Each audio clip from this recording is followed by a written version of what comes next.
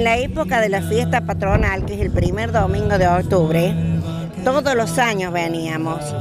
Está a 8 kilómetros así hacia el norte, cruzando las sierritas, y está mi escuela ahí. Digo mi escuela porque.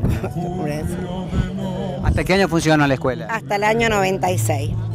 Y desde aquellos años a la fecha ahora, bueno, el sueño de todos ustedes era que la reconstrucción llegara a su fin. Cuéntanos un poquitito todo lo que tuvo que pasar para que esto llegara a buen término. Mira, muchísimo. Porque el doctor Gelfi, que era intendente cuando yo llegué a. Porque yo no soy de Elena, soy de Río Cuarto.